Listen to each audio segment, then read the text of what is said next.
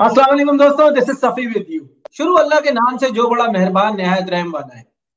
दोस्तों, इंसान जब भी अपनी ज़िंदगी का मकसद हासिल कर लेता है तो कामयाबी उसकी ज़िंदगी में आना शुरू हो जाती है। अब वो मकसद इंसान किसी भी उम्र में हासिल कर सकता है। और कुछ लोग ऐसे होते हैं कि वो मकसद सिर्फ़ अपनी ज़िंदगी के लिए नहीं, बल्कि ऐसा मकसद बनाते हैं जो कि सोसाइटी को सर्व भी करता है और लाखों लोगों की ज़िंदगी में जो है वो मकसद हासिल वो ज़रिए मिल जाते हैं। ऐसे एक शख्स में आज हमारे गेस्ट ने जो कि कासिम शाह फाउंडेशन में असिस्टेंट ट्रेनर भी है ब्लॉगर भी है काउंसलर भी है ऑथर भी है स्पीकर भी है। और ये एक बड़ी मशहूर किताब है चैंपियन स्टूडेंट जो कि बेशुमार इदारों में निसाब का हिस्सा भी बनी। तो आज हमने खास तौर पे इनको इस प्रोग्राम में बुलाया ताकि ये अपनी उस किताब के बारे में भी बात करें और ये भी जानेंगे कि इनकी इस वक्त और क्या एक्टिविटीज़ है तो आए प्यार भरे सलाम के साथ, इनको वेलकम करते हैं। असला वालेकुम अस्सलाम। सफ़ी भाई बहुत शुक्रिया आपके वक्त का। इंशाल्लाह ये इंटरव्यू बड़ा मज़ेदार रहेगा और मुझे भी बड़ा कुछ सीखने के लिए मिलेगा आपसे। जजाकल्लाम आप बताएँ आप कैसे हैं? खैरियत है आपके घर में और सब ठीक ठाक है इस वक्त? अल्हम्दुलिल्लाह सब बेहतरीन जा रहा है। अल्लाह का बड़ा करम है।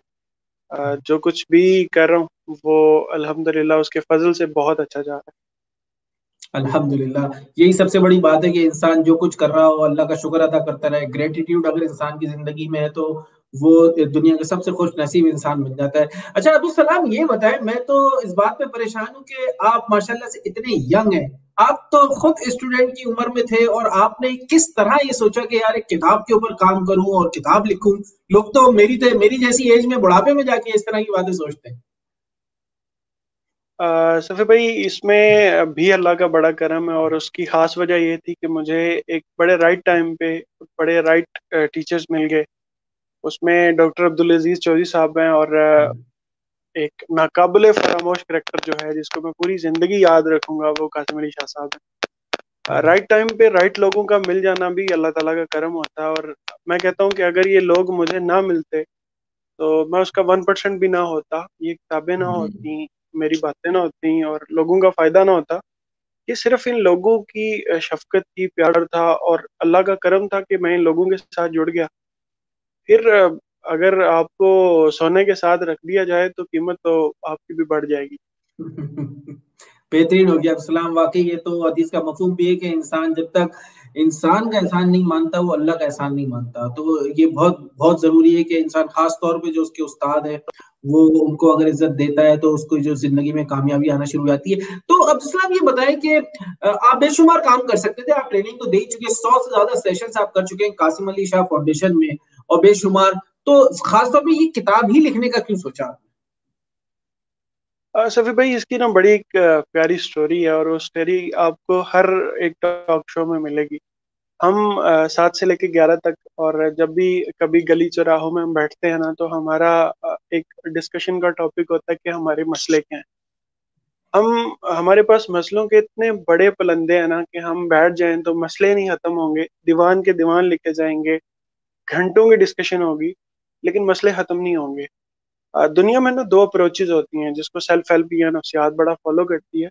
एक होती है प्रॉब्लम ओरिएंटेड अप्रोच और दूसरी होती है सोल्यूशन ओरिएंटेड अप्रोच हमारे ज़्यादातर लोग प्रॉब्लम ओरिएंटेड अप्रोच पे जाते हैं। ये हर वक्त मसलों का सोचते हम्म। रहते हैं मसले ये हैं हमारा ये खराब है हम नहीं ठीक हो सकते। मैंने एजुकेशन सिस्टम को जब पढ़ना शुरू किया क्योंकि एजुकेशन सिस्टम का अपना पार्ट था बहुत सारी चीज़ें लैग थी। मैंने अपनी क्रिएटिविटी की वजह से बहुत ज़्यादा मार खाई है। मैं जितना क्रिएटिव होता था, उतने मेरे इदारे मुझे पीछे लगाते थे कि नहीं, आप वैसे नहीं हो जैसे आपको होना चाहिए। वो थ्री इडियट्स की कहानी से सारी बात रिलेट होती है। तो मैंने फ्लॉज पढ़ने शुरू किए कि इस एजुकेशन सिस्टम में आखिर फ्लॉ क्या है कि ये क्रिएटिविटी को क्यों प्रमोट नहीं करते?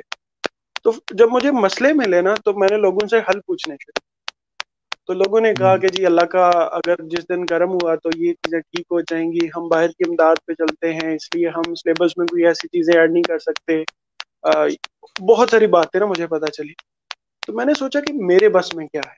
मैं क्या कर सकता तो सोचने के बाद ये समझ में आई कि अगर कोई ऐसी किताब हो जो मैं लिख दूँ और उन सारी चीज़ों पर हो जिनको मैंने फील किया कि अगर ये मुझे टाइम पे पता होती तो शायद मैं इससे भी पहले कुछ कर लेता।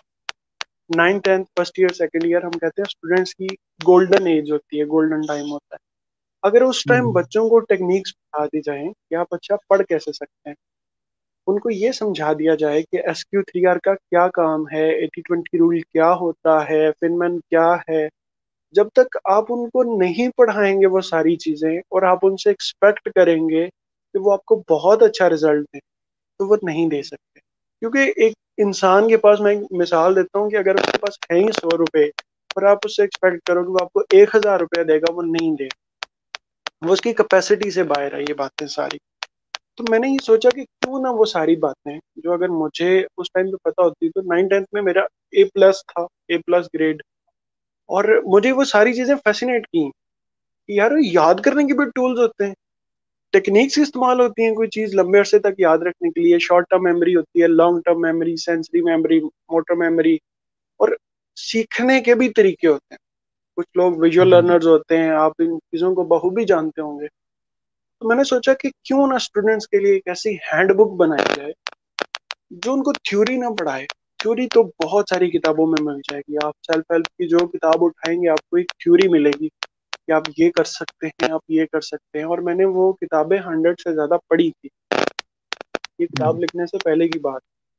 तो मैंने सोचा यार थ्योरी से तो नहीं बदलता। थ्योरी तो हमें नहीं पूछती कि हम खराब कहाँ पर हैं। हम डॉक्टर के पास जाते हैं ना तो पहले हमारा डायग्नोसिस होता है कि मसला कहाँ पे है परेशानी हम्म। बताएँ दर्द कहाँ पे तो मैंने कहा कि हम एक इंसान को एनर्जी दे देते हैं मोटिवेशन उसे मिल जाती है हेल्प की किताबों से। हम उसे बता देते हैं कि तुम कर सकते हो लेकिन हम उसे ये नहीं बताते हम्म। कि तुम कैसे कर सकते कौन कौन सी चीज़ें हैं जो फ्लॉज हैं? कौन कौन सी चीज़ें हैं जिनको तुम्हें पॉलिश करना है? कौन कौन से रास्ते हैं जिन पे तुम चल सकते हो? तुम्हारा अल्टीमेट फ्यूचर क्या है? ये सारी बातें हम्म। मैंने फिर किताब लिखनी शुरू की पहले ब्लॉग्स थे और ब्लॉग से किताब बनी 363 पेजेस लेकिन मैंने हम्म। जब उस किताब को देखा ना तो मैंने एक नज़र से मैंने कहा कि अगर ये किताब मुझे भी कोई देना और फ्री में दे तो मैं नहीं पढ़ूँगा क्योंकि थ्योरेटिकल है सारी और मैं थ्योरी से थ्योरी को ज़्यादा पसंद करने वाला हूँ भी प्रैक्टिकली हम्म। जो चीज़ें मुझे फ़ायदा देती हैं मैं उनको पढ़ता हूँ तो मैंने छांट के सारी थ्योरी निकाली और 184 पेजेस पे एक किताब बनाई और अल्लाह का बड़ा करम है पंजाब के आठ इदारे इवन कि अभी यहाँ पर जहाँ पे मैं काम कर रहा हूँ इदारे ओपन होंगे तो I will go in schools and colleges और मैं उन्हें बताऊँगा कि ये कितनी ज़रूरी है आपके लिए। और मेरा, मैं मैं इस बात पे बिलीव करता हूँ, अगर ये मेरी किताब ना भी होती तो मैं फिर भी इसको प्रमोट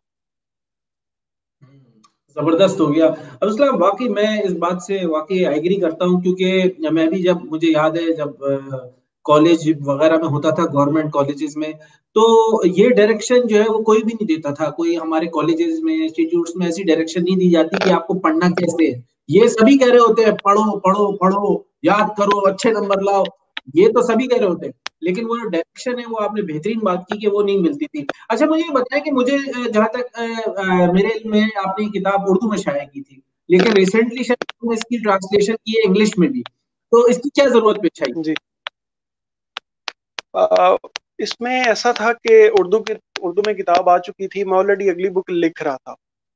तो शाह साहब से मैंने बात की मैंने कहा सर ये किताब इसको मैं मजीद कैसे लेके चल सकता हूँ? तो सर सर चूँकि इस सोसाइटी की हर क्लास से वाकिफ थे उन्हें पता था हम्म। कि किस जो स्टैंडर्ड है उसकी क्या रिक्वायरमेंट्स हैं। तो उन्होंने मुझे कहा कि उर्दू जो हमारे मिडिल क्लास लोग हैं वो तो पसंद करेंगे। लेकिन जो हमारे पोस्ट एरियाज़ के डी एच ए लाहौर में या जो बड़े लोग हैं मिलेनियम्स मैं कह सकता हूँ। उन वो उनकी ख्वाहिश होती है कि हमें इंग्लिश कंटेंट मिले। हम्म। वो हमने उन पेड़ बनाई हुई है बर्गर बच्चे बर्गर लोग हम्म। लेकिन ऐसा नहीं है। वो उस सोसाइटी में बनते हैं तो अगर एक बंदे को शुरू से इंग्लिश सुनने को मिल रही है पढ़ने को मिल रही है तो उसमें मैं वो ज़्यादा कंफर्टेबल होगा।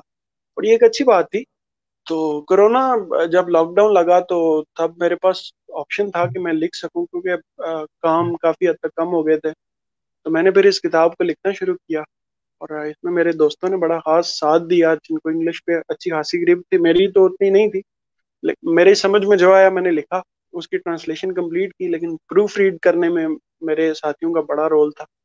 और उसको फिर अमेजोन पे भी पब्लिश कर दिया उस पर कोई खास तवज्जो नहीं दी क्योंकि मेरा मसला जो है वो यहाँ के स्टूडेंट्स के साथ है। वो बाहर की दुनिया के साथ नहीं है वो हमसे ऑलरेडी बहुत आते हैं।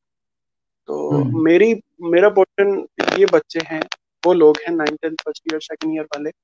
और मैंने जो एकेडमी बनाई है ये बेसिकली एकेडमी नहीं है ये एक लैब है।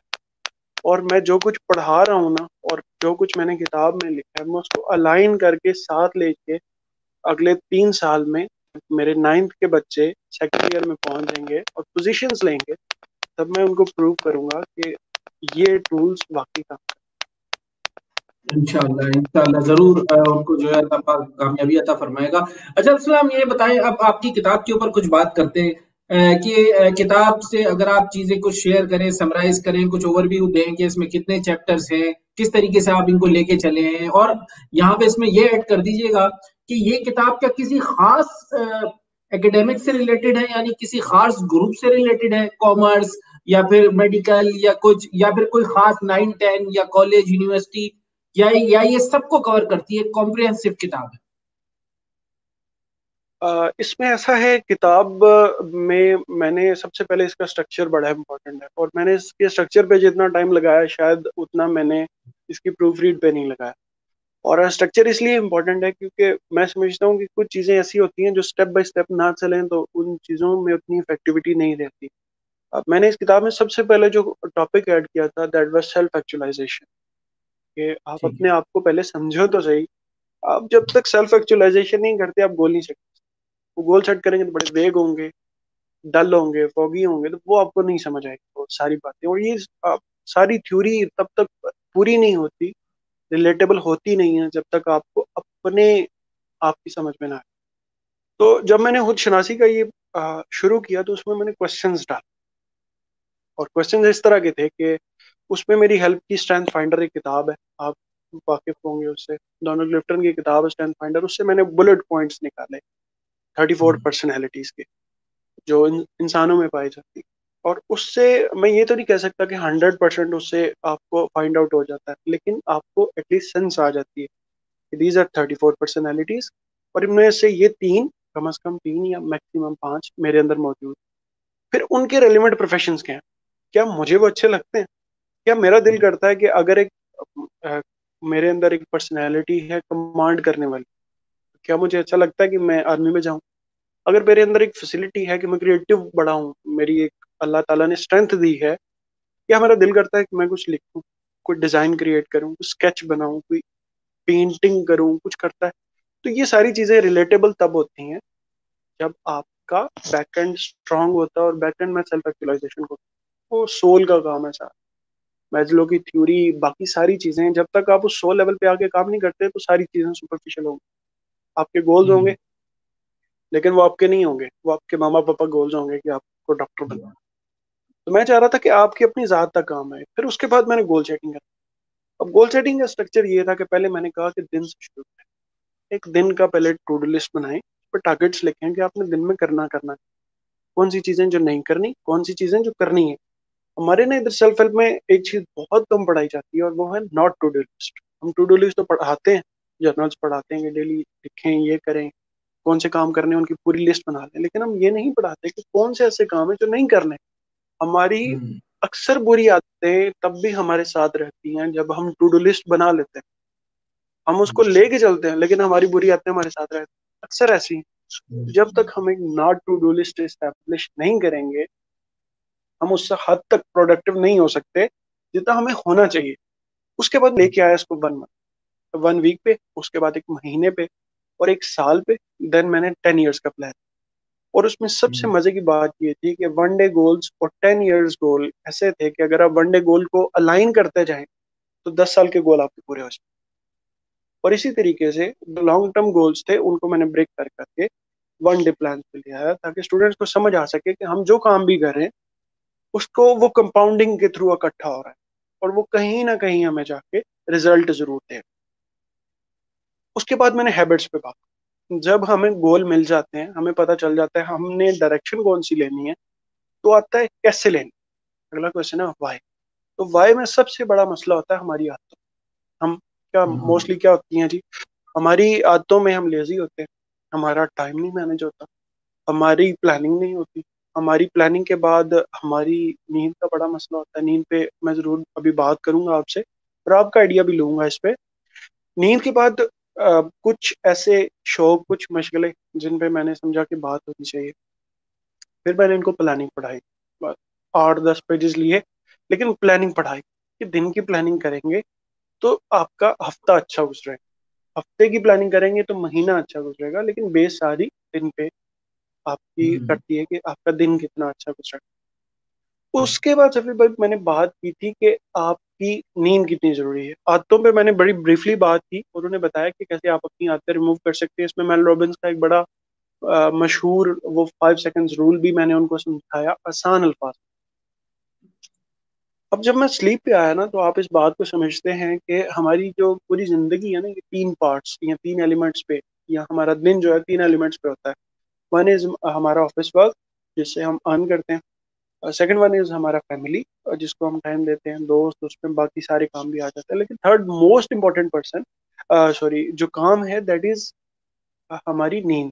हम दिन में आठ घंटे सोते हैं, और साठ साल की ज़िंदगी में हम बीस साल सो क्यों लेकिन हमने कभी ये जानने की कोशिश ही नहीं की कि ये आठ घंटे की नींद क्यों है? क्वालिटी स्लीप क्या होती है? हम आठ घंटे क्यों सोते हैं? हम छः घंटे, चार घंटे, दो घंटे क्यों नहीं सो सकते? और इस मैं जितने भी अच्छे सेहत के रेलिवेंट लोग थे डाइटिशियन थे डॉक्टर्स थे मायर नफ्सियात थे मैंने उनसे बात की। उन्होंने कहा था कि these eight hours are the core of our life जिनकी ये आठ घंटे अच्छे हैं ना उनकी पूरे बाकी के सोलह घंटे अच्छे उनकी पूरी ज़िंदगी अच्छी लेकिन मसला हम्म। ये है कि आप बताएँ कि कितनी किताबें ऐसी हैं जिनमें नींद पे बात बहुत कम। मैंने गिन के कुछ दस बारह किताबें देखी हूँ। उनमें से एक बहुत अच्छी किताब है वो आ, मैं ज़रूर रिकमेंड करूँगा। वो उसका नाम है स्लीप स्मार्टर शॉन स्टीवनसन की किताब। और उसने पूरी अपनी थ्योरी दी है। साथ में अपनी पर्सनल केस स्टडी डाली है कि कैसे नींद वाकई तौर पे गेम चेंजर तो। ये सारी बातें जब मैंने डाली स्टूडेंट की लाइफ में नींद सबसे ज़्यादा जब तक वो सोएगा नहीं तो सोने के दौरान हमारा ऐसा होता है कि ऑलरेडी जो प्रेजेंट डाटा है हमारे माइंड में पूरे दिन हमने किया होता है वो ऑर्गेनाइज होता है। डिफरेंट ब्रेन पार्ट्स में अगर कोई सेंसरी इंफॉर्मेशन है तो वो शॉर्ट टर्म में स्टोर होगी उस लॉन्ग टर्म में और सब कुछ ऐसे सेव होता है। लेकिन अगर हमारा बच्चा सोएगा रात को तो सुबह छह बजे आप उसे उठा देंगे तो उसका पूरा दिन कैसा गुजरेगा? हम्म। और ये चीज़ें अगर पेरेंट्स करवाएँगे तो किसी हद तक करवा सकते हैं। कंप्लीटली नहीं करवा सकते। लेकिन जब आप अपने स्टूडेंट को बताएँगे कि आपकी 10 से 12 तक की स्लीप या 10 से लेकर 2 बजे तक की स्लीप आपकी 80 परसेंट कोटा वही होता है। आपकी 80 परसेंट स्लीप रिक्वायरमेंट वहाँ पर पूरी हो जाती है और दो से चार बजे तक आपकी बाकी ट्वेंटी परसेंट तो हम्म। उसको वो जब रियलाइज़ करेगा ना कि मेरा ये मेरी बॉडी की रिक्वायरमेंट है अगर मैं नहीं दूँगा तो इसमें मेरे लिए मसला है अब जब अवेयरनेस आ गई तब इम्प्लीमेंटेशन आसान हो जाती है। हमारा हम्म। मसला ये है कि हमारे पास अवेयरनेस भी नहीं। हम्म। बहुत सारे स्टूडेंट से जब मैंने बात की इवन की यूनिवर्सिटी स्टूडेंट्स थे कासिम अली शाह फाउंडेशन में मैं जब उनसे बात की मैंने उनको बताया कि ये बातें हैं आप करें। तो उन्होंने मुझे कहा कि सर हमें आज पता चल रही बीस साल के लड़के उन्नीस साल के लड़के उन्होंने कहा सर हमें आज पता चल किसी ने नहीं बताया। मैं उससे अगले पोर्शन पे आता हूँ स्लीप के बाद कि मैंने टूल्स दिए अच्छा पढ़ने के टूल्स उसमें एस क्यू थ्री आर था, बाकी बातें थी। सफी भाई यकीन कीजिए, लाहौर का सबसे बड़ा इदारा, उसके टीचर्स मेरे पास आए मेरा ट्रेनिंग सेशन था उनके। मैंने उनसे सिंपल क्वेश्चन पूछा कि एस क्यू थ्री आर क्या है? और वो सब ब्लैंक उनके पास कोई जवाब नहीं था। मैं फिर वही सवाल करता हूँ कि अगर टीचर्स को ये चीज़ें नहीं आती अगर टीचर्स पढ़ाने वाले को ये चीज़ें नहीं पता। स्टूडेंट्स को कहाँ से देगा तो इस तरीके से ये पूरा मैंने फ्लो इसका तैयार किया और उसके बाद मैंने इस किताब को पब्लिश किया। ज़बरदस्त हो गया। जहाँ तक मैं समझ रहा हूँ आपने अपनी किताब में स्टूडेंट को टेक्निक्स देने से पहले उनकी सेल्फ डेवलपमेंट के ऊपर भी बात कर ली। यानी कि आप बात कर रहे हैं सेल्फ एक्चुअलाइजेशन की गोल सेटिंग की प्लानिंग की और जो है ये सारी चीज़ें तो आप यानी कि उसकी पहले पर्सनैलिटी को डेवलप कर रहे हैं, उसकी हैबिट्स को चेंज करने की बात कर रहे हैं, क्योंकि हैबिट्स का तो सबसे ज़्यादा रोल होता है इंसान की सक्सेस में या फेलियर में। और जब वो उसकी ये बेस स्ट्रांग हो जाएगी तो फिर उसके बाद मेरा ख्याल है कि आप उसको लेके जाएँगे उस टेक्निक्स के ऊपर जो कि उसकी एकेडमिक से रिलेटेड होगी। तो ये तो बेहतरीन चीज़ है। और जहाँ तक आपने अभी बात की कि उस पर मुझे एक बात याद आई दीन से रिलेटेड कि वाकई के सवाब का काम करना तो आसान होता है, लेकिन गुनाह को छोड़ना मुश्किल होता है। तो जो आपने टू डू और नॉट टू डू की बात की, वो इससे रिलेट कर रही है कि वाकई, जैसे हम कहते हैं, यार, नमाज़ पढ़ना तो वाकई आसान है, लेकिन आप बोलो किसी को, यार म्यूज़िक छोड़ना सुनना छोड़ दो तो वो उसके लिए ज़्यादा मुश्किल हो जाता है। तो बेहतरीन है। अच्छा अब्दुल सलाम यानी कि जब आप उसकी पर्सनैलिटी को डेवलप कर लेंगे, उसके बाद फिर आप दूसरे स्टेप में कहा लेके गए उसको? पर्सनैलिटी डेवलपमेंट के बाद ना मैंने एंड पे एक बड़े मज़े की चीज़ दी और uh, मैं ये समझता हूँ कि अगर मेरी किताब 183 पेजेस की है और अगर ये एक हज़ार पेजेस की भी होती ना तब भी ये कंप्लीट बुक नहीं थी और मैं इसको कभी बुक नहीं कहता मैं इसको अपने आइडियाज़ नहीं कहता। ये मेरी सिर्फ़ इम्प्लीमेंटेशन थी। मैंने सिर्फ़ ये किया कि मैंने जो सीखा मैंने उसको इम्प्लीमेंट किया खुद पे और अपने जाने वाले स्टूडेंट्स हर आइडिया काम नहीं किया। हमने हमारे अक्सर जो लोग यूट्यूब पे या जहाँ भी जो पढ़ाते हैं ना जो टूल्स सेल्फ हेल्प की किताबों से उठाए फाइव एम क्लब से या बाकी किताबों से जो पढ़ाते हैं वो वो एज इट इज़ ना कॉपी पेस्ट कर देते हैं कि ये चीज़ें अच्छी हम्म। हैं इनको अडॉप्ट करें लेकिन एक चीज़ हम मिस कर देते हैं जब हम रिसर्च की बात करते हैं तो हम एक चीज़ मिस कर देते हैं ये पहले उसको ये तो देख लें कि ये चीज़ इधर हमारी सोसाइटी पे फिट आती है कि नहीं है हम्म।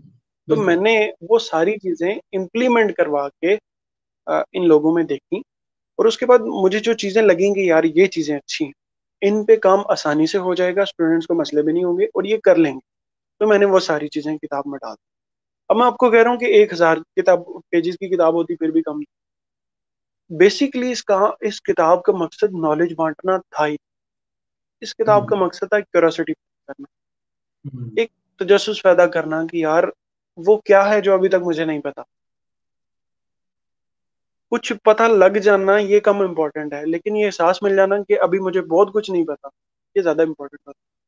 और मैं यही चीज़ अपनी किताब से डेवलप करना चाहता तो जब हम्म। ये सारी बातें मैंने कर ली तो एंड पे मैंने लिखा कि ये सफ़र अभी शुरू हुआ है ये खत्म नहीं हुआ।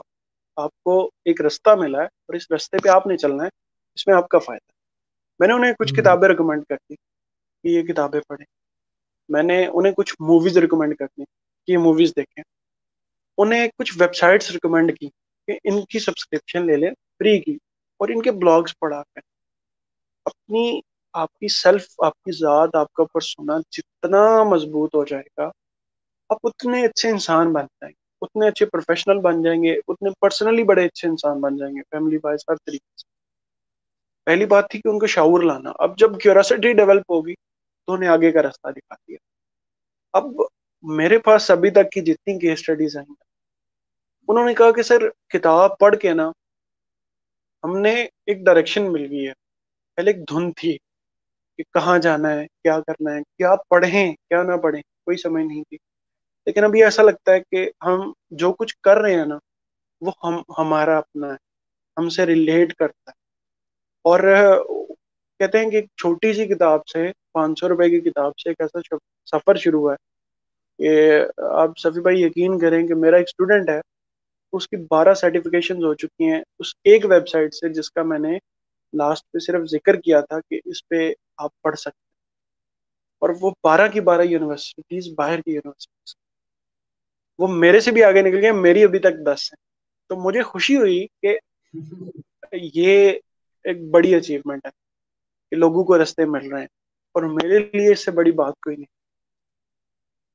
ज़बरदस्त है। मैं चाहूँगा वेबसाइट आप बताएँ ताकि सुनने वालों को भी पता चले उस वेबसाइट के बारे में। आ, ये एक से ज़्यादा वेबसाइट्स हैं। मैं कोर्सीरा का सबसे ज़्यादा ज़िक्र करता हूँ। और कोर्सीरा का इसलिए करता हूँ कि कोर्सीरा हमारा बड़ा ख्याल रखती है। खसूस उन लोगों का जो पे नहीं कर सकते। वो इस तरीके से कि फोर्टी फाइव डॉलर इनकी पे होती है एक कोर्स की। और ये कोई मामूली कोर्स नहीं होते कोई खुद बैठ के अपलोड करके ये नहीं कर देता। ये यूनिवर्सिटीज के कोर्सेज होते हैं। अभी मैं मेंटल हेल्थ पे हम्म। एक कोर्स कर रहा हूँ और यूनिवर्सिटी ऑफ़ सिडनी से है। मैंने स्टेट टॉमसक यूनिवर्सिटी रशिया से साइको एनालिसिस पढ़ा है अभी रिसेंटली और इस तरीके से यूनिवर्सिटी ऑफ़ कैलिफ़ोर्निया मैकमेस्टर जितनी बड़ी यूनिवर्सिटीज हैं उनमें से अक्सर हार्वर्ड को छोड़ के क्योंकि हार्वर्ड का एक अपना प्लेटफॉर्म है उसे हार्वर्ड एक्स कहते हैं। जिसपे आप भी यकीनन वो कोर्स अटेंड किया था आपने भी। तो वो कोर्सीरा पे आपको एक बड़ी वैरायटी मिल जाती है। कि आप मुतद कोर्सेज कर सकते हैं। आप अपनी फ़ील्ड में जिसमें इंटरेस्ट होता है उसमें आप कर सकते हैं। इसके अलावा यूडेमी है। उसके अलावा फ्यूचर लर्न है खान अकेडमी है अलीसंस है बहुत सारी वेबसाइट्स बस से क्यूरोसिटी पैदा हो जाए ना कि मैंने कुछ करना है। इवन कि पाकिस्तान की लोकल वेबसाइट्स जैसे डी स्किल्स है। और गवर्नमेंट के अब कुछ प्लेटफॉर्म्स आ रहे हैं जो अच्छा काम कर रहे हैं। मैं तो चाहूँगा कि जो भी सीखने वाले हैं वो ज़रूर इन वेबसाइट से फ़ायदा उठाएँ। असल में कंटेंट अवेलेबल है। मसला है हमारी प्रायोरिटी हम किस चीज़ को हम्म। मानते हैं? हम में एक्सेल करना चाहते हैं। हमें टाइम ज़ाया करना है। हमें गेम्स खेलनी है। या हमें कुछ प्रोडक्टिव काम करने हैं और हमें किसी रिज़ल्ट पे पहुँचना है। क्यूरोसिटी पैदा होगी। अब हम्म। मछली पकती जाएगी। अच्छा अब्दुल यहाँ एक बात बताएँ। इतना ज़्यादा प्रेशर होता है स्टूडेंट के ऊपर हमारे हमारे यहाँ खास तौर पे पेरेंट्स की तरफ़ से टीचर्स की तरफ़ से कि भाई अपने सिलेबस का ही तुम्हें पढ़ना है ताकि मुझे याद है एक, एक जमान में मैं ट्यूशन पढ़ाता था। तो ओ लेवल्स के बच्चे थे वो और मैं खुद भी उस वक्त पढ़ रहा था। तो आ, एक सेकेंड ये कुछ एनीवे anyway, तो मैं खुद भी उस वक्त स्टूडेंट था और मैं पढ़ाता था ओ लेवल्स को। तो उस बच्चे के जो है, मुझे याद है कि जहाँ तक मुझे एग्जैक्ट क्योंकि बहुत पुरानी बात हो गई, कोई 91 या 92 नंबर आए थे उसके मैथमेटिक्स में। और जो दूसरा बच्चा था, वो अकाउंट्स का था, उसके कोई मेरे ख्याल से 87 मार्क्स थे। और उनके पेरेंट्स ने बकायदा मुझसे बैठ के डिस्कशन किया और इतनी बहस की कि इतने कम नंबर क्यों आए? कि पूरे नंबर क्यों नहीं आए? अब मैं जो है वो, अब मैं शुरू से थोड़ा डिफरेंट माइंड का था। मैं उनको बड़ा समझाने की कोशिश की कि देखें, आप उनको अप्रिशिएट करें, इतने नंबर है और आप इतना प्रेशर डालेंगे बच्चे के ऊपर तो वो तो बिल्कुल ही कोलू का बैल बन जाएगा। लेकिन बहरहाल वो, उन्होंने फिर मुझे ट्यूशन से ही निकाल दिया कि हमारे बच्चों के नंबर कम है। तो इस सूरत में जहाँ इस तरह की सोसाइटी भी मौजूद हो कि वो बच्चे को इतना ज़्यादा सिलेबस के ऊपर जो है वो ज़ोर देती है कि आप वही पढ़ना है और वही सब कुछ करना है तो कैसे वो बच्चा ये दूसरा सेल्फ डेवलपमेंट और दूसरी चीज़ों की तरफ़ उसको मोड़ना क्या मुश्किल नहीं है? अब बड़ी अच्छी बात की आपने और ये सवाल इसलिए बड़ा इम्पोर्टेंट है क्योंकि इसका ताल्लुक किसी एक इंसान से या एक जात से नहीं है। मैं अगर बात करूँ ना कि एक स्टूडेंट को अगर लाइफ में एक्सेल करना है या कुछ भी करना है इवन कि अपनी पढ़ाई तक इम्प्रूव करनी है तो ये सिर्फ़ एक एक इंसान अकेला नहीं कर सकता। एक कंप्लीट व्हील है। और जब तक इस व्हील का हर हर पोर्शन अपना काम नहीं करेगा ना तो एक चीज़ नहीं अलाइन हो सकती। उस तरीके का रिज़ल्ट नहीं दे सकती।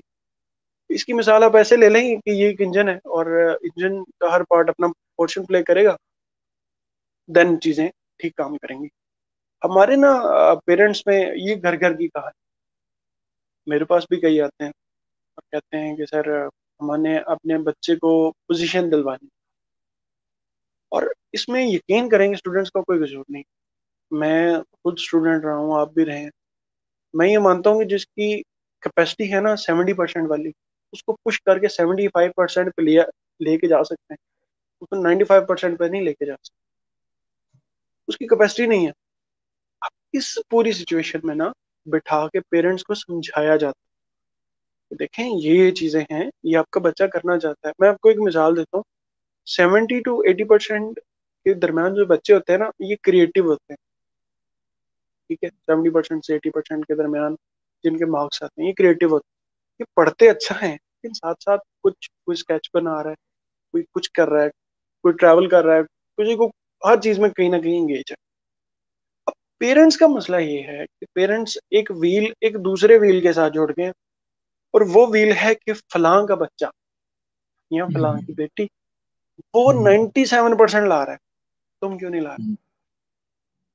तो मेरे पास कल ही कल एक बंदा आया हुआ था और उसने मुझे कहा तो मैंने उनसे ना बड़ा मजाकिया अंदाज में मैंने इतना कहा कि ये बच्चा आप अपना उनको दे दें और उनसे उनका बच्चा ले लें। आप भी खुश हो जाएँगे। उनके घर भी बच्चा वो बेहतर हो जाए तो मैंने उनको बिठा के ना मैंने उनको समझाया। मैंने कहा चीज़ें ऐसी नहीं होती जैसे आप हर इंसान दूसरे से डिफरेंट है। आप मछली को मगरमच्छ से मिला रहे तो हो सकता है वो किसी और काम के लिए आया है ये किसी और काम के लिए आया। है तो अगर काउंसलर अच्छा हो ना मैं मैं ये भी मानता हूँ कि आप बहुत ज़्यादा कुटेड़ा आदमी हो उसको नहीं ठीक कर सकते वो आपकी बात कभी नहीं सुनेगा वो अपने पॉइंट पे लगा रहेगा कि मैं जो कह रहा हूँ वो ठीक है। ऐसे लोगों के लिए ना हिदायत की दुआ है बस। बाकियों को लॉजिक के बिठा के समझाया जा सकता है कि देखें ज़रूरी नहीं कि आपका बच्चा 98 परसेंट लेके डॉक्टर बने। वो कुछ और भी कर सकता है। हमारी ना भाई मसला ये है कि हमारा दो प्रोफेशन पे ध्यान जाता है डॉक्टर पे और इंजीनियर दुनिया बीस परसेंट को रजिस्टर्ड प्रोफेशन माना जाता है। और इसके अलावा कुल तादाद सात हज़ार से भी ज़्यादा। ठीक है?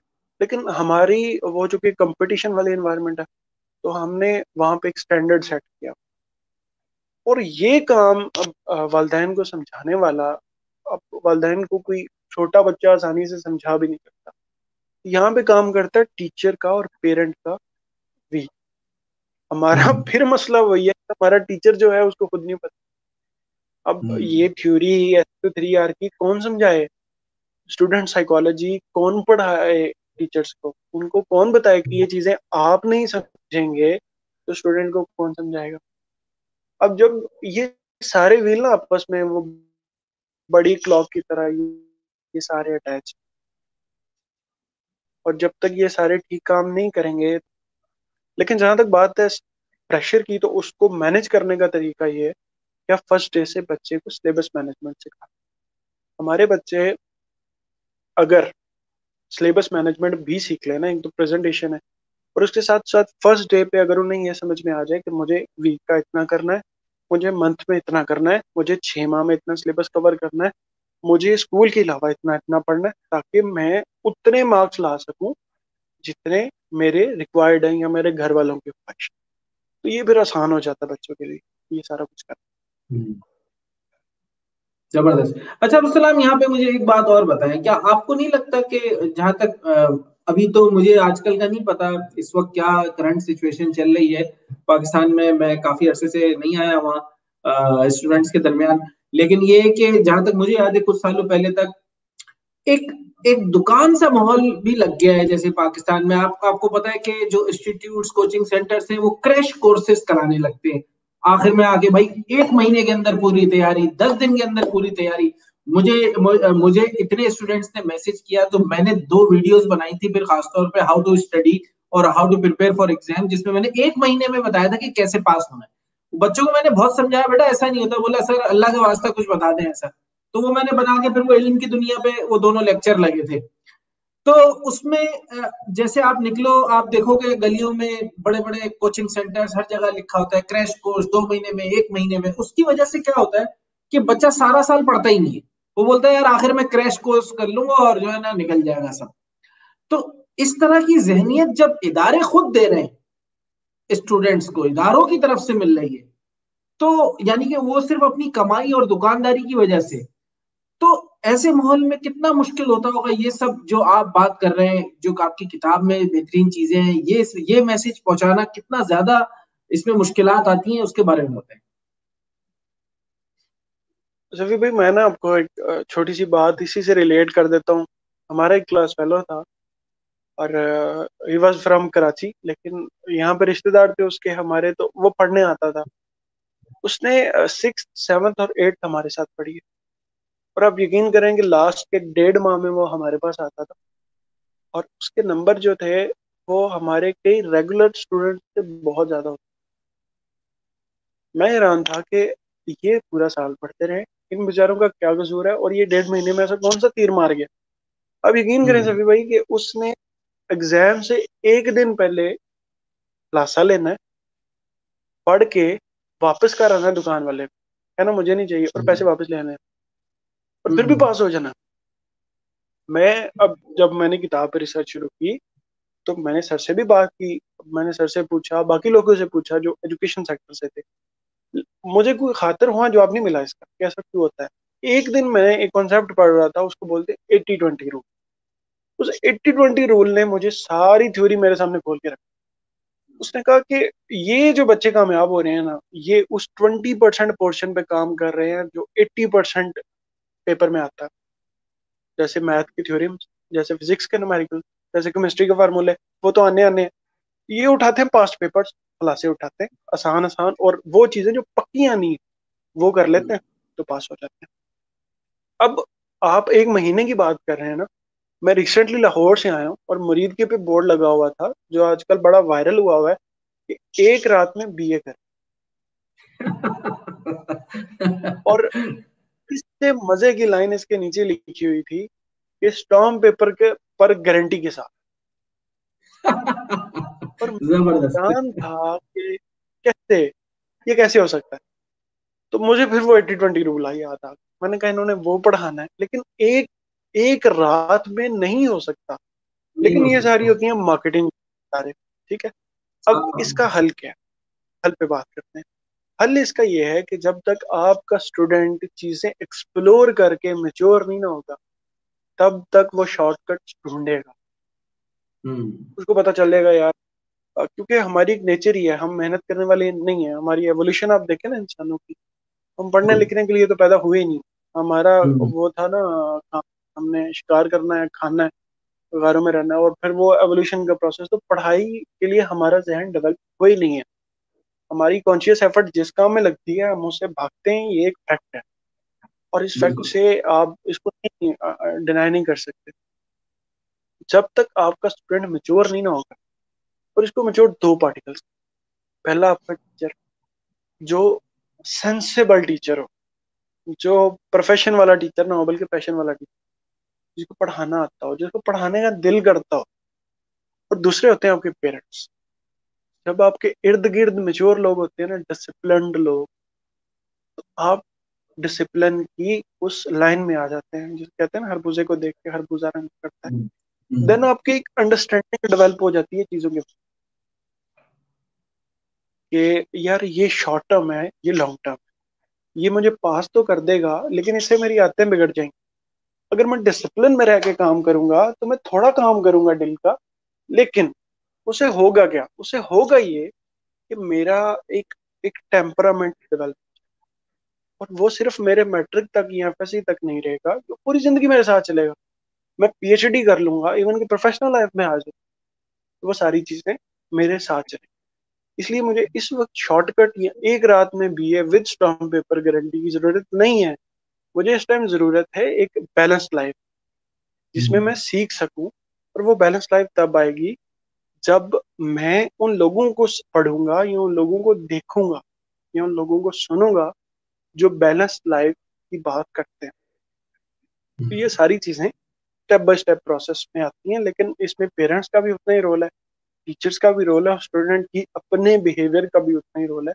तो ये पूरा ट्रियो जब मिलता मिलता है तब एक अच्छा आपके पास प्रोडक्ट तैयार ज़बरदस्त। मुझे यहाँ पे एक बात याद आई, सोचा था तो शेयर करूँ। मैं जब यहाँ नया नया आया सऊदी अरब में तो रमज़ान का महीना था और तरावियाँ होती है, जैसे ईशा की नमाज़ के बाद, यहाँ भी होती है। तो मैंने जो मेरे जो मेरे हेड थे ग्रुप हेड मैं उनके अंडर में था तो वो भी मुतवा कहते हैं यहाँ पे ना, जो मौलवी टाइप का होता है, उसे मुतवा कहते हैं।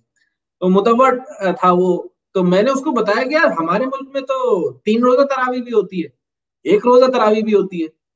तो वो बिल्कुल समझो कि शॉक्ट हो गया। बोलने लगा तीन रोजा तरावी मतलब एक रोजा तरावी क्या क्या होता है उसमें?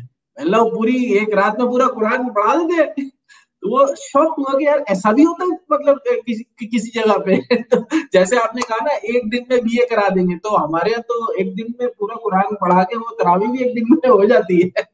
तो दुनिया के लिए नई चीज़ें अच्छा असलाम मैं यहाँ शेयर करना चाह रहा था। आपकी बात में ऐड करूँगा। अगर आपकी इजाज़त हो तो। मैंने मैंने ये देखा है अपने पर्सनल एक्सपीरियंस से। हो सकता है कि आप इसको एनालाइज कर सकें कि जिस शख्स की भी या जिस स्टूडेंट की भी लाइफ में कंपेलिंग रीजंस होते हैं ना वो कंपेलिंग रीजंस हम्म। उसको पुश करते हैं ज़िंदगी में कुछ पढ़ने के लिए या कुछ भी करने के लिए। अब मैं अगर अपनी ज़िंदगी की तरफ़ देखूँ तो मैंने जो तालीम हमेशा हासिल की, मेरे हालात ऐसे नहीं थे कि मैं तालीम हासिल कर सकता आगे। लेकिन वो कंपेलिंग रीजंस मेरी लाइफ में ऐसे थे जो मुझे हमेशा पुश करते थे कि यार मुझे किसी भी तरह पढ़ना है। उसकी मैं मिसाल देता हूँ। मुझे याद है कि जब मैंने क्योंकि मैट्रिक और इंटर तो हो जाता है गवर्नमेंट कॉलेज से बहुत थोड़ी सी फ़ीस होती है, आपको पता है, वहाँ से कर करा के आदमी किसी तरह निकल ही जाता है। लेकिन उसके बाद मैं किसी इदारे का नाम नहीं लूँगा। एक बड़ी यूनिवर्सिटी है जिसमें मुझे मेरा मेरा बड़ा दिल था कि अल्लाह करे मैं इस यूनिवर्सिटी में पढ़ू। मैंने बड़ी उसकी किताबें वो आ, कहते हैं ना वो पुराने उर्दू बाज़ार से खरीद के तैयारी की घर में बैठ के सब किया और मेरा टेस्ट क्लियर हो गया मेरा एडमिशन हो गया। एडमिशन हुआ तो अब मेरे हालात ऐसे नहीं थे कि मैं वहाँ से पढ़ता तो मैं मजबूर हो गया। वो एडमिशन इतनी मुश्किल से हासिल करने के बावजूद फिर मुझे गवर्नमेंट यूनिवर्सिटी में बीकॉम करना पड़ा। लेकिन मुझे क्रेज था। जब मैंने बीकॉम खत्म किया, मैंने फिर तैयारी की, फिर वहाँ एडमिशन दिया, वो टेस्ट दिया कि अब मैं वहाँ से एम कर लेता हूँ। तो जब मेरा फिर दोबारा अल्लाह का शुक्र है, फिर मेरा एडमिशन हो गया। और इंटरव्यू देने के बाद मेरे हालात सही नहीं थे तो मैं फिर वहाँ एडमिशन नहीं ले सका। तो फिर मैंने मास्टर्स कर लिया गवर्नमेंट यूनिवर्सिटी से। और फिर जब मेरा मास्टर खत्म हो गया, लेकिन मुझे क्रेज था कि मुझे वहाँ जाना है। तो फिर उसके बाद मैंने तीसरी दफ़ा वहाँ टेस्ट दिया। और फिर मैंने वहाँ से और मजीद आगे की पढ़ाई एम की तरफ़ उसी यूनिवर्सिटी से की। लेकिन उस वक्त मैं दो जॉब्स करता था। जॉब करता था ट्यूशन पढ़ाता था और उससे कुछ पैसे जमा करके फिर मैंने वहाँ से आगे और पढ़ा। तो उसकी वजह क्या थी? वो कंपेलिंग रीजंस थे मेरे पास जो मेरी फैमिली के थे या मेरे हालात के थे, जो मुझे पुश करते थे कि नहीं यार, तुम्हें किसी तरह ये सब करना है ताकि तुम हालात को अपने बेहतर कर सको। तो आपकी नज़र में कंपेलिंग रीजंस का कितना रोल होता है एक स्टूडेंट की लाइफ में? सर मैं कहता हूँ आपकी बात जितनी भी थी वो मेरी बात थी और मेरे जैसे बहुत सारे लोगों की बात आपका जहाँ तक सवाल है, मैं कहता हूँ कि नाइन्टी परसेंट आप, आपका जो अंडरस्टैंडिंग है ना, या जो आपकी डेप्थ है, आपकी ज़ात की, वो डेवलप तब होती है जब आपके पास इश्यूज़ आते हैं, जब आपके पास मसाइल आते हैं। मुझे याद है एफ़ के बाद मैं, नहीं थे रिसोर्सेज मेरा चार यूनिवर्सिटीज़ में एडमिशन ऑलमोस्ट हो चुका था। लेकिन आई आई कुडेंट पे तो पांचवी यूनिवर्सिटी में आ, मैं जाने लगा था लेकिन तब शाह साहब की किताब ने मुझे रोक लिया और उसका बड़ा मैं इंशाल्लाह ब्रीफ करूँगा क्योंकि बड़ी एक लंबी कहानी है तो अगली किताब इंशाल्लाह आ रही है आठ नौ माह तक तो उसमें मैं ज़रूर उसका ज़िक्र करूँगा। उसके बाद मैं लाहौर चला गया। लाहौर में मैंने एक प्राइवेट फार्मेसी में छः हज़ार की सैलरी पे काम शुरू किया और उसके साथ मैंने अपनी एजुकेशन कंटिन्यू की। और देन उसके बाद शाहजी साल डेढ़ साल मैंने उस फार्मेसी पे काम किया। नाइट ड्यूटी की दिन को पढ़ा नींद पूरी की और रात को काम करता था। तो ये आ, मैं आपको एक बात इस सारी बात से जोड़ के कहूँगा कि जापान का ना एक शाही फैमिली है। उनका उनके एक रिवायत है। और वो रिवायत ये है कि जब उनके घर कोई बर्तन टूट जाता है ना तो वो उसको सोने के पानी से जोड़ देते हैं वापस।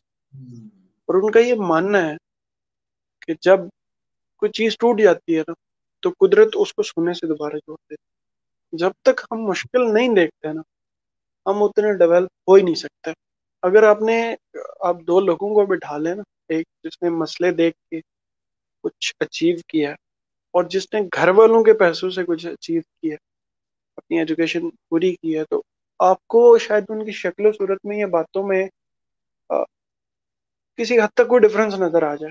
लेकिन उनके काम करने के अंदाज में उनकी किसी भी चीज़ के बारे में अंडरस्टैंडिंग पे बड़ा फ़र्क आपको नज़र आए। और ये सारी चीज़ें तभी आती हैं जब आप टाइम की भट्टी में जलते हैं। ये आसानी से नहीं आती ये ऐसा नहीं होता कि आपको कोई एक्सपीरियंस बंदा बता दे कि यार ये ये मुश्किलें आती हैं और इन मुश्किल को फील करो आपको वो सब कुछ हासिल हो जाएगा जो मुझे हुआ था। तो नहीं होता ऐसा। मैंने बहुत सारे ऐसे स्टूडेंट्स देखे हैं। इवन की शाजी शाजी को मैंने क्योंकि बड़े पास बैठ के सुना हुआ है। और जब भी सर का लेक्चर होता था तो मेरा काम होता था कि मैंने एक छोटा सा स्टूल उठाना है और सर के डाइस के साथ लेफ़्ट साइड पे जाके बैठ जाता तो मैंने वो सुना हुआ है। सर कहते हैं कि मैंने अपनी फीसेस खुद दी हैं और सर भी इस बात को कहते हैं कि जितने स्टूडेंट्स मेरे वो थे, जिन्होंने बेकरीज पे काम करके, कुछ ना कुछ करके अपनी फीसेस दी हैं अपने पल्ले से और मुश्किलें देखी हैं। दिन में काम किए है, शाम को क्लासेस ली हैं, रात को ट्यूशन पढ़ाया उनको मैंने एक्सेल करते ज़्यादा देखा उनको, उनमें बहुत कुछ था लेकिन सर के मुताबिक उनमें सबसे अहम बात जो थी वो ये थी कि जितने भी मसले उनके ज़िंदगी में आगे आए हैं ना उनके लिए वो इम्यून हो चुके थे हम्म। उनकी प्रैक्टिस इतनी हो चुकी थी कि उन्हें समझ आ चुकी थी कि ये ये चीज़ें हमारे साथ होंगी ये चीज़ें हमारी खराब होंगी लेकिन हम उनको ऐसे ठीक कर सकते तो एक बंदा जो घर वालों की मतलब उसको पूरा एक साजगार माहौल बना हुआ है और वो सुबह जाता है और वहाँ पर साठ सत्तर हज़ार फ़ीस देता है। उसके बाद वो शायद प्रोफेशनली बड़ा अच्छा हो, लेकिन उस मैार पे नहीं आ सकता, जिस मैार पे आपकी आजमाइशें आपको लाती हैं। और मैं पर्सनली मानता हूँ कि आजमाइशें आपका सेल्फ इतना मज़बूत कर देती हैं बाद में। उस टाइम तो आपको शेक कर देती हैं, हिला देती हैं अंदर से। लेकिन आप में वो क्वालिटीज पैदा कर देती हैं ना, जो आपको कोई ट्रेनिंग सेशन नहीं आपके अंदर पैदा कर ज़बरदस्त। अच्छा अब्दुल ये बताएँ कि आपकी वेबसाइट पे क्या आप रेगुलरली ब्लॉग्स लगाते हैं और आपका जो एक यूट्यूब चैनल है, उस पर आपकी वीडियोस की क्या फ्रिक्वेंसी है? किस तरीके से आप अपने फेसबुक पे चीज़ें शेयर करते हैं, उसके बारे में कुछ बताएँ। मैं सबसे पहले तो रेगुलरली कर रहा था। किसी हद तक मैंने, क्योंकि पहले जॉब थी, जॉब में प्रेशर बहुत ज़्यादा था, क्योंकि एक पूरा ऑफ़िस था जिसका डेकोरेम मेंटेन करना होता था तो चीज़ें थी पढ़ने वाली तो पहले तो टाइम नहीं मिलता था। देन उसके बाद मैं यहाँ पर आया तो चीज़ें इस्टेब्लिश करने में बड़ा टाइम लग गया। और मुझे कहीं ना कहीं लगता था कि अभी मैं अपना डेवलप हुआ नहीं हूँ कि मैं यूट्यूब बैठ के बात कर सकूँ। मेरे लिए मसला नहीं था मैं कर सकता था। लेकिन मेरा मसला ये नहीं था कि रिकॉर्ड करूँ मैं बात करूँ। मेरा मसला ये था कि मैं कितनी अच्छी बात कर सकता हूँ मैं वैल्यू कितनी अच्छी दे सकता हूँ। देन अभी रिसेंटली वो अढ़ाई तीन माह पहले। मैंने बकायदा रिकॉर्डिंग्स शुरू की और अभी तक मोर देन फिफ्टी रिकॉर्डिंग कर चुका हूँ। मेरा असल में पैटर्न ये है कि मैं एक दिन रिसर्च करता हूँ और एक दिन रिकॉर्ड करता हूँ। क्योंकि मैं सिर्फ़ अपने थॉट प्रोसेस पे नहीं जाता, मैं डिफरेंट परस्पेक्टिव से एक ही चीज़ को देखता हूँ। और जब डिफरेंट एंगल से एक चीज़ को देखा जाता है तो एक अंडरस्टैंडिंग डेवलप हो जाती है उस चीज़ के बारे में तो ज़्यादा इन डेप्थ होती है। तो रिसर्च से मेरी फिर बड़ी हेल्प हो जाती है उस टॉपिक को। पूरा हो समझने में। अभी तक मोर देन फिफ्टी रिकॉर्डिंग्स हो चुकी हैं, लेकिन मेरा मसला ये है कि मेरी मसरूफियात इतनी ज़्यादा है, मैंने इतने मोर्चे खोल लिए हैं कि मैं रेगुलरली रिकॉर्ड नहीं कर पाता। तो मैंने फिर इस पे, इसका हल ये निकाला था कि मैं हंड्रेड वीडियोस को पहले रिकॉर्ड करूँगा, उनको एडिट करने के बाद उनको स्केड्यूल कर दूँगा after two days each video तो देन उसके बाद इंशाल्लाह फेसबुक पे भी मेरी काम शुरू हो जाएगा, मेरा जो यूट्यूब है वो भी एक्टिव हो जाएगा। जहाँ तक वेबसाइट की बात है तो वेबसाइट चल रही थी। अभी कुछ टेक्निकल इश्यूज़ की वजह से वो कोडिंग का थोड़ा इशू था तो वो आ, उसका सर्वर थोड़ा डाउन है। तो वो भी इनशाला विद इन अ मंथ वो आपको हो जाएगी। वेब डेवलपर के पास है आजकल वो। और उस पर मैं ब्लॉग्स लिखता हूँ रेगुलरली लिखता हूँ। जब तक वो थी वहाँ पर। अभी जो कि मेंटेनेंस है क्योंकि उसका एडसेंस अप्रूव हुआ था और एडसेंस की वजह से उस पर कुछ ऐसी चेंजिंग्स थी जो कि मैं नहीं कर सकता था। uh, मैंने वर्ड पढ़ा हुआ है मैंने एस e पढ़ी हुई है लेकिन वो चीज़ें वेब। डेवलपमेंट के रिलेटेड थी मुझे आती नहीं थी। मैंने फिर किसी टेक्निकल बंदे के हवाले कर दी। तो वो इनशाला विद इन मंथ वो भी एक्टिव हो जाएगी। इसके अलावा सात किताब लिख रहा हूँ और ये किताब मैंने पूरी डेडिकेट कर दी है शाताब को क्योंकि तीन साल में शायद मुझे अगले साठ साल में उतनी यूनिवर्सिटीज़ ना सिखा सकती जितना मुझे तीन साल में सिंगल फर्द ने सिखा दिया। तो हर एक के शुक्रिया अदा करने का अपना अंदाज होता है। तो मैंने तो जिस दिन से सर के पास सीखना शुरू किया था तो मैंने एक चीज़ लिख ली थी कि जिस दिन मैं यहाँ से जाऊँगा, मैं एक किताब लिखूँगा सर पे। और सिर्फ़ वो नहीं लिखूँगा जो सर दुनिया के सामने, मैं वो लिखूँगा जो मैंने सर से सीखा। और हर वो चीज़ जो हर उस इंसान को सीखनी चाहिए जो सेल्फ हेल्प या साइकोलॉजी या पर्सनल डेवलपमेंट को पढ़ता है। तो वो आपकी आने वाली किताब क्या बायोग्राफी है कासिम अली शाह साहब की या फिर वो क्या है किस किस तरीके की किताब है उन्वान क्या है उसका? बायोग्राफी तो नहीं कह सकते। आपको उन्वान से उस किताब का पूरा थीम समझ में आ जाएगा। उस किताब का टाइटल है मेरा मोहसिन या मोहसिन अब वर्ड मोहसिन लगी हम्म।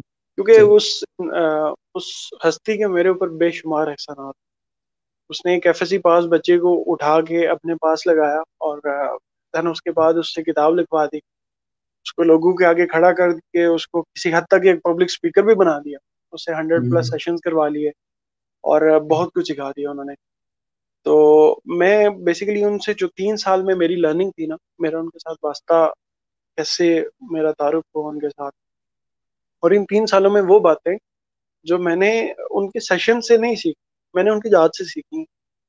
और क्योंकि मैं उनके करीब था मैं उनके बड़ा पास रहा हूँ तो वो कुछ ऐसी बातें थी जो कि मैंने इंसान उस इंसान में उनकी जात से मैंने कभी उनकी ज़ुबान से नहीं सुनी थी ऐसी हम्म। सिफात एक इंसान में वो जो बातें उन्होंने खुद बताई ना वो खुद उन पर इम्प्लीमेंट करते थे हमारे ना फॉलो फेल का तजाद बड़ा आम है और हम्म। बड़ी पर्सनैलिटीज ऐसी हैं जो बातें कुछ और हैं लेकिन करते कुछ और हैं लेकिन शाहजी ने वो जो मैार लोगों के नज़र में बना के रखा ना मैं हमेशा कहूँगा कि उन तीन सालों में मैंने सर को कभी एक दफ़ा भी उस मैार से नीचे आते नहीं देखा। वो हमेशा उस मैार से ऊपर ही और आ, सर के बारे में मैं एक बात कहता होता हूँ कि सर का शुमार उन लोगों में है जिन पे बारे में कहा गया कि अनम ताली। हम हो अल्लाह की हास नहमत हैं। तो मैं उनको वासिफ साहब और इशफाक साहब की कैटेगरी का बंदा समझता हूँ। क्योंकि जैसा टीचर वैसा स्टूडेंट वो उनके स्टूडेंट है तो यकीन उन्हीं की कैटेगरी में आते हैं। वो कुछ दस बारह पॉइंट्स थे मेरे जहन में और बड़े इंपॉर्टेंट पॉइंट्स थे जिन पर बड़ी कम बात हम्म। होती है। वो मैंने इंशाल्लाह इस किताब में लिखते हैं। ज़बरदस्त तो हम सबको आपकी इस नई आने वाली किताब का इंतज़ार रहेगा। तो अब सलाम आखिर में कोई एक पैगाम दें स्टूडेंट्स के लिए? जो कि आप स्पेसिफिक समझते हो, जो उनके लिए बड़ा ज़रूरी है स्टडीज़ हासिल करने के लिए बेहतर तरीके से।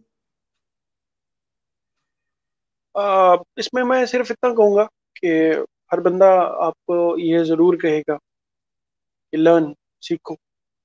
सीखो, हर वक्त सीखते रहो। लेकिन मैं ये कहूँगा कि सीखने से पहले एक दफ़ा ये सीख लो कि सीखते कैसे क्योंकि जब तक। आपको सीखना नहीं आएगा ना, आप तब तक अच्छा सीख नहीं सकते। तो लर्न ज़रूर करो और हमेशा लर्न करो। जब तक आप ज़िंदा हो, कुछ ना कुछ लर्न करते रहो। किताबों से वीडियो से कोर्सेज से, कहीं ना कहीं अपनी लर्निंग को जारी रखो। और दूसरी बात कि कभी अपने हॉबीज़ को अपने से दूर मत जाने देना। आपकी हॉबीज़ आपका शौक, आप जिस भी काम में अपने आप को इनरोल करोगे ना, पढ़ने के साथ साथ उन चीज़ों को ज़रूर रखना।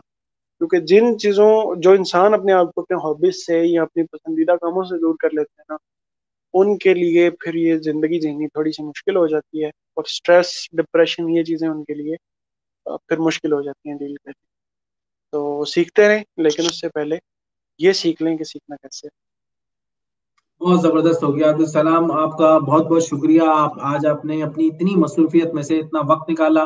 मैं दुआ करता हूँ, अल्लाह पाक आपकी ज़िंदगी में रहमत नाजिल फरमाए, बरकत अता फरमाए, आपको, आपकी फैमिली को, आपके वालदेन को लंबी उम्र अता फरमाए और आपको आपके जज्बा ईमानी, मैं तो जज्बा ईमानी कहूँगा क्योंकि आप लोगों की खिदमत के लिए बड़ा काम करते हैं। अल्लाह पाक इस जज्बा ईमानी में जो है वो तरक्की अता फरमाए और जो भी आपकी दिल की ख्वाहिश है, अल्लाह पाक उसको पूरा फरमाए। इनशाला जिस दिन भी मेरा यहाँ कोरोना की वजह से कुछ हालात सही हुए और हरम जाना हुआ तो आपके लिए खास दुआ ज़रूर करूँगा। और जो है रोजा रसूल पे गया तो आपके नाम से सलाम भी पेश करूँगा। ये मेरी तरफ़ से आपके लिए एक छोटा सा तोहफा होगा। तो बहुत बहुत शुक्रिया आपकी इस मोहब्बत का। बड़ा मज़ा आया बड़े आइडियाज़ शेयर हुए आपके साथ। बहुत सारी ऐसी बातें होती हैं जो जहन के किसी कोने में होती हैं, लेकिन वो कभी मौका मिले तभी ज़ुबान पे आती हैं। तो आपकी वजह से और बहुत मशहूर हूँ आपका, आपकी इस मोहब्बत का। आपने हमेशा मुझे अप्रिशिएट किया है। और आपका काम बहुत ज़बरदस्त है। आप लोगों का विजडम जिसको प्रोफेशनल और पर्सनल विजडम कहते हैं इवन कि मुझ, नाचीज़ का भी वो आप उन लोगों तक पहुँचा रहे हैं जो बाकी सीखना चाहते हैं। और आपने बिल्कुल परवाह नहीं की इस बात की कि इसका रिस्पॉन्स क्या आता है। आपने अपना काम किया है और बहुत अच्छे से किया है। और, अल्लाह इसकी आपको जजा देगा यहाँ पर भी और आगे बहुत बहुत शुक्रिया तो सलाम बहुत बहुत शुक्रिया थैंक यू सो मच इनशाला आगे मौका मिला आपकी मसरूफियत में कुछ वक्त निकला तो दोबारा हम आपकी सेशन करेंगे और आने वाली किताब का इंतज़ार भी करेंगे इनशाला thank you thank you thank you